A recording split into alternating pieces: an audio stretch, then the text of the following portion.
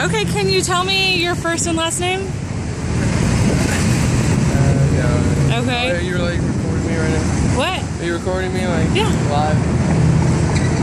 I uh, I'd rather not do a whole thing about it. That's fine. Uh, What made you want to write that on your sign? Uh, well, just wanted to, you know, show a sign of solidarity. Kind of uplifts people. You know, well might maybe make them chuckle. And, uh, a show people, a lot of people honk and uh, give me a thumbs up. Show support. They, they don't fear me either. I've had some army folks drive by in uniforms. Hell yeah, I'm not afraid of ISIS either.